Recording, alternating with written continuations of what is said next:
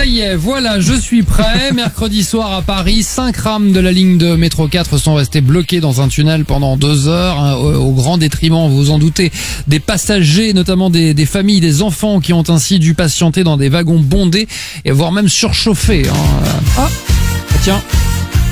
Putain, c'est dommage Bon, euh, Patrick Sébastien, vous êtes là, oui. Putain, c'est dommage, ouais. T'as quelques minutes de plus et tout le monde finissait à poil. Ah, Putain, ça- non, non, non, ah, ça aurait fait une chouette émission, Au putain. secours, quoi, vous êtes sûr Rendez-vous dans, dans- rendez-vous dans le train et cul nu. C'est bon. Et cul nu, Rendez-vous dans le train et cul nu, tu Ouais, vois. ouais, je vais. Ça sonne bien, non Tu parles. Putain, hey, deux heures dans le métro, ça devait sentir bon là-dedans. Hein. Bah ouais, pas sûr. Hein. Enfin, si t'aimes le poisson, ça devait sentir bon, quoi. Ah, quelle horreur. non. Eh, mais dis donc, j'y pense. Ouais. Le PDG de la RATP, maintenant, c'est Jean Castex. Oui Ah, décidément, c'est dingue. hein. Lui, dès qu'il arrive quelque part, on se retrouve confiné. J'avais pas pensé. Eh, tu crois qu'il a, tu, tu crois qu'il a fait une annonce au micro l'autre soir, là? Imagine.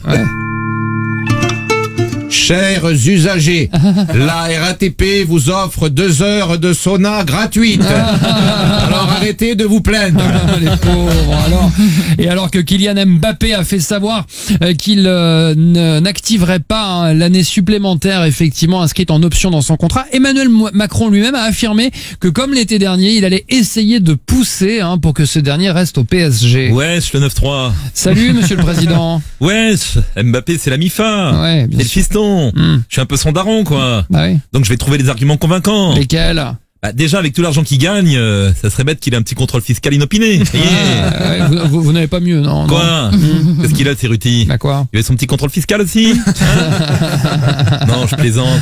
Qu'est-ce que vous voulez que je fasse Je vais quand même pas sortir un 49-3 pour que Mbappé reste au PSG, non Bah euh, surtout qu'il y a, peut-être plus d'argent, il y a peut-être plus urgent. Oui, enfin bon, attends, on parle d'un type qui rapporte 170 millions par an au fisc. Hein, Ah oui. là. je, me, je me démènerai pas autant pour que Stéphanie Brisson reste au FC mon cul sur ton nez. vous voyez Mais bon, suis pas hyper confiant. Hein. Pourquoi hein Bah si je convainc Mbappé de rester au PSG comme j'ai convaincu Poutine d'arrêter la guerre en Ukraine, on est mal. vous voyez C'est pas faux. Cette semaine, euh, un antiquaire parisien de 93 ans euh, devait être jugé devant le tribunal correctionnel de Paris pour escroquerie. Il est soupçonné d'avoir trompé ses acheteurs euh, pendant plusieurs années en leur vendant de faux objets. C'est fou ça. Sur la tête de ma mère, ma parole Bah oui, Jamel, de Bouze. Eh, en même temps, quand tu vois la liste, quand tu vois la liste des objets, les acheteurs, ils auraient pu se méfier un peu. Hein. Bah oui. Alors il y avait quoi justement? Euh, attends, faut que je retrouve la liste. Ouais. Euh, Il y avait le Becherel de Franck Ribéry, Bah ouais, d'accord. un piano bon tant pis ayant appartenu à Mozart, D'accord. Des feuilles d'imposition de tennisman français, Ouais.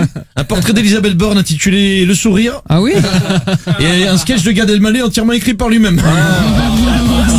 C'est pas sympa ça. c'est pas sympa. Excusez-moi, monsieur. Oui, lieutenant Colombo. C'est moi qui suis chargé de l'enquête et Encore la liste est incomplète. Ah bon? Oui, il y avait aussi une ceinture de chasteté ayant appartenu à PPDA, un jean slim de Gérard Larcher, Ouais. et surtout, surtout, l'encyclopédie des meilleures blagues de Vincent Cerruti.